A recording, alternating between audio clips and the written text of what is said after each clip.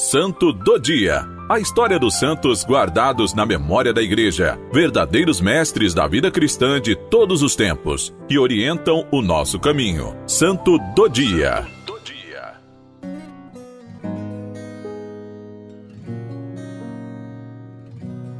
Olá, meu irmão, minha irmã.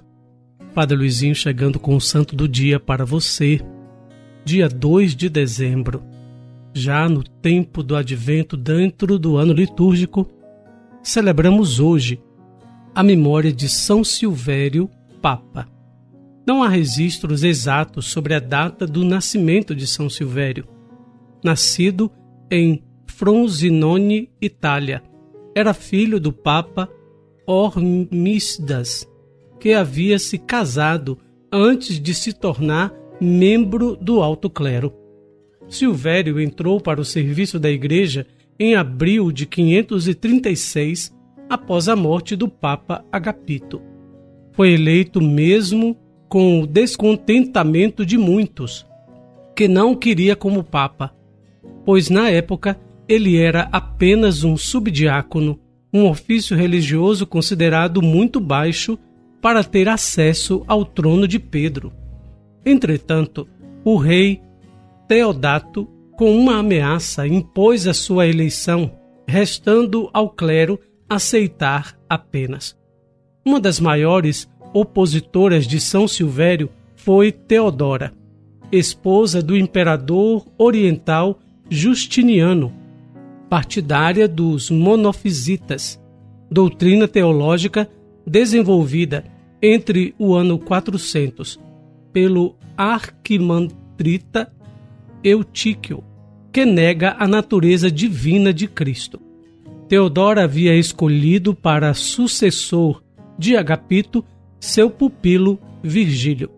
A doutrina monofisismo, condenada herética pelo Concílio de Calcedônia em 451, conseguiu encontrar prosélitos por volta dos séculos V e VI causando uma grande separação de Roma entre as igrejas cópita, armênia e jacobita da Síria.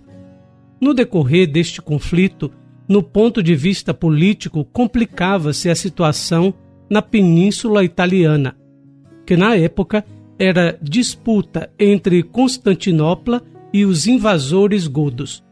O pontificado de Silvério e toda a esfera religiosa pagavam todo o preço nessa disputa de poderes. O imperador Justiniano acabou por declarar guerra contra os otogodos, enviando seu melhor general, Belisário, para o combate. Nesse contexto, Teodora ainda tratava uma batalha contra Silvério, onde tentava abrandar suas posições em favor do monofisismo. Entretanto, não tendo sucesso, tramou um complô contra Silvério. Com uma carta falsa, afirmava que o Papa havia permitido a entrada dos godos em Roma para libertá-los dos bizantinos. Sem o direito de explicar-se, Silvério foi despojado de suas vestes papais e vestido como monge. Foi levado para Constantinopla. Sem ajuda, acabou sendo deportado para Patara, na Lícia. Em seu lugar, Vigílio tornou-se papa, mas não foi hostil ao monofisismo. Eleito como o 58º papa da Igreja de Roma, o pontificado de Silvério durou apenas um ano, por causa desta grande guerra que perdurou por 18 meses. O bispo de Patara, disposto a inocentar Silvério, apresentou ao imperador provas irrefutáveis que provavam a inocência de Silvério, que obrigaram Justiniano a libertá-lo e mandá-lo de volta para Roma.